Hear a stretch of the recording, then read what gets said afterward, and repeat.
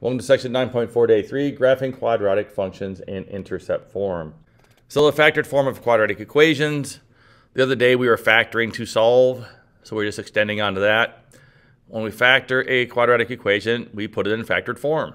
And we can use factored form to graph the equation. Because remember, when we factor them, we find solutions. We find out where our quadratic or parabola crosses the x-axis. So our factored form of a quadratic equation is the form y equals a, x minus p, x minus q.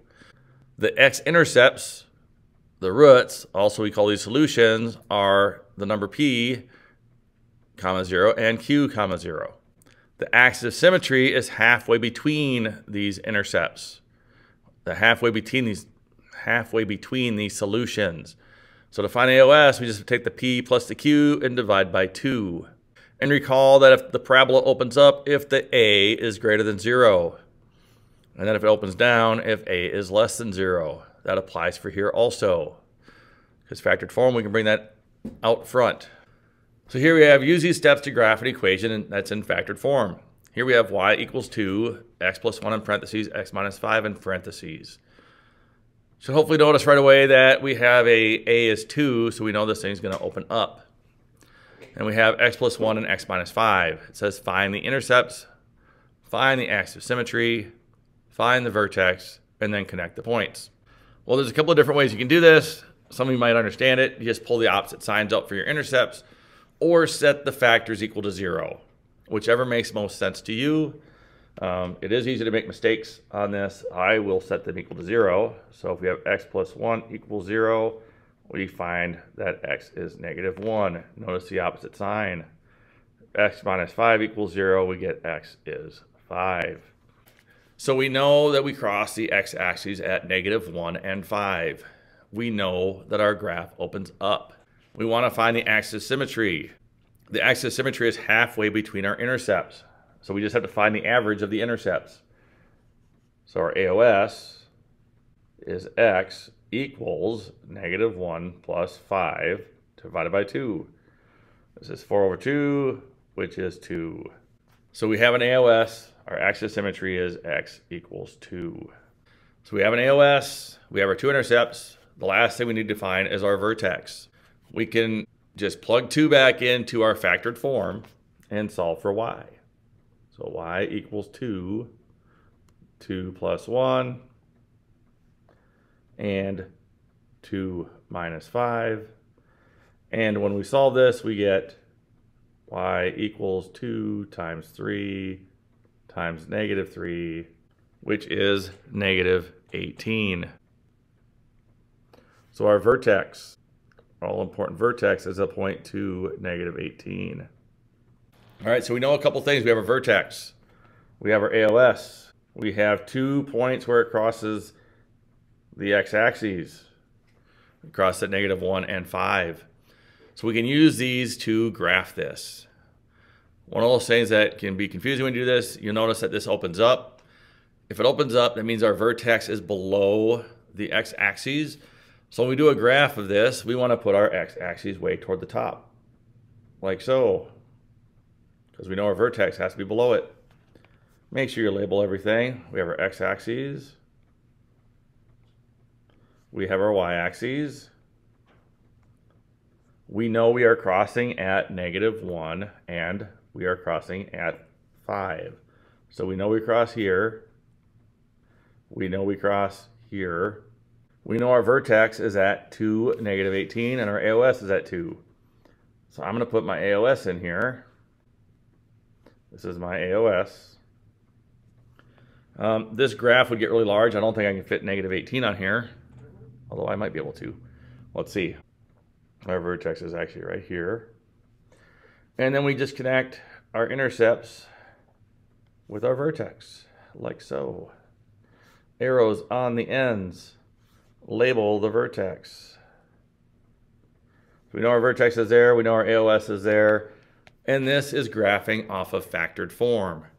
So instead of having to find a couple of points here and there, we factor it, we find our intercepts, we take half the distance between the two intercepts, put in our AOS, use that x value to find the vertex. So this one, we're only have three points. We'll have the vertex and two intercepts, connect them, make sure you label everything, arrows on the ends. We'll do a couple of these to get some practice. Here it says factor in graph y equals negative 2x squared plus 2. Well, with this one, always look for GCF when you do these. It'll make it easier again.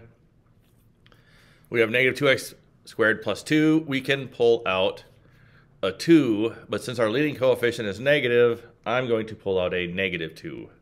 And we get y equals negative 2. We have x squared minus 1. The x squared minus 1 is a difference of squares, so we can factor it. 2 become x minus 1, x plus 1. All right, so here's our factored form. y equals negative 2, x minus 1 in parentheses, x plus 1 in parentheses. And then we find our intercepts off of this. Some of you will see it right away, but if you don't see it, set your factors that have variables in them equal to 0. So x minus 1 equals 0, x plus 1 equals 0, and when you solve both of them, you get x is 1, x is negative 1. So here's my intercepts. Those are my zeros, my solutions. We have different names for them, all meaning the base of the same thing. So there is where I cross. The axis of symmetry is halfway between. Quite often we graph, we can eyeball it. Halfway between negative 1 and 1 is 0. So we know our axis of symmetry is x equals 0. If you don't see it, or if it's not a nice one, you just take AOS is x equals the 2, so 1 minus 1 over 2. We find the average. This is 0 over 2, which is 0. If you can eyeball it, eyeball it, but tell me this piece right here. If you need to solve for it, solve for it. So we know our axis of symmetry is going right along the y-axis. All right, so this is my OS. This is my x-axis, by the way. This is my y-axis. So now we are going to plug in 0 into either our original equation or the factored form. It doesn't matter which one you use. It all depends which one you're more comfortable with. I'm going to use the original. It's easier a little bit. So y equals negative 2 on this one it is anyway. We get 0 squared plus 2, and this just becomes 2. So our vertex is the point 0, 2. Make sure you tell me what this is. So our vertex is right here, and label it. One thing you should hopefully know already from looking at our initial function is our a is negative 2, which means we open down. And that should tell you right there that we have a vertex is above the x-axis, which it is. We're opening down, we're going through our intercepts, and there is my graph from factored form. Our factors will tell us where our x-intercepts are. We find our vertex and AOS. We find the axis symmetry between halfway between our two intercepts. From the AOS, we find our vertex, plot those three points, connect with a smooth curve. Make sure you're telling me these things and that you're labeling. If you have to factor, show me your factors. Show me your intercepts. So I want you to see these things when you guys solve. I need to see your two intercepts, axis symmetry, and vertex all have to be labeled and stated. So it's your turn to try one of these before I let you loose on the worksheet today.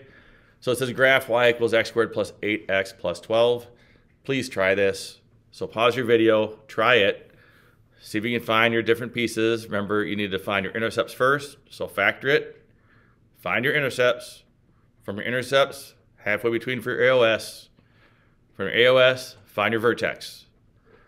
Plot your vertex and your two intercepts, and then connect. Also plot your AOS and show me where it is. All right, first thing, we have a leading coefficient of 1, so we just need to find what multiplies to 12 that adds to 8 to factor. And we get that y equals x plus 6 and x plus 2. Some of you should be able to see right away that we're going to take the opposite signs out. So our intercepts our solutions are at x equals negative 6 and x equals negative 2. These are our solutions or our roots. So we know we're going to cross at negative 6 and negative 2. When you look at this, it shows that we have a positive x squared. So that means that we are going to move, we're going to open up. If we open up, that means our vertex is below the x-axis. So if I give you a graph and you know the vertex is below the x-axis, we're going to put the x-axis at the top of our graph. Maybe not at the tippy top, but toward the top. And now I can plot my points, uh, negative 2 and negative 6. And you guys should hopefully see that halfway between negative 2 and negative 6, our AOS, using the eyeball method, is negative 4, which is right here. And you could also do this by math, by the algebra part, where you say negative 6 minus 2 divided by 2 would be negative 2 would be negative 8 divided by 2, which is negative 4. This is my AOS. So we know that x is negative 4. We're going to plug it in either to our factored form or our to original. In this case, I'll use my factored form, just so you can see what it looks like. So we have negative 4 plus 6. We have negative 4 plus 2. And we solve it, and we get 2 times negative 2, which is negative 4.